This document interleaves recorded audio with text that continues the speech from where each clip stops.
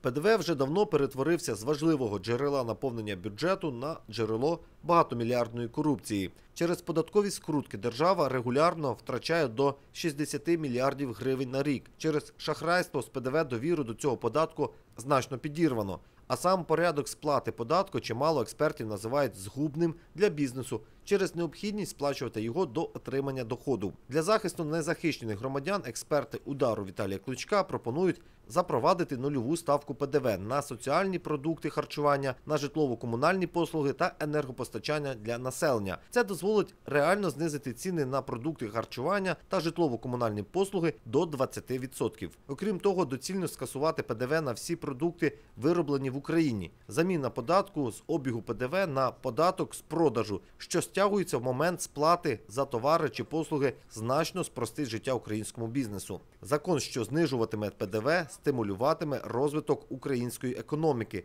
а також дозволить реально знизити ціни на продукти харчування та житлово-комунальні послуги на 20%.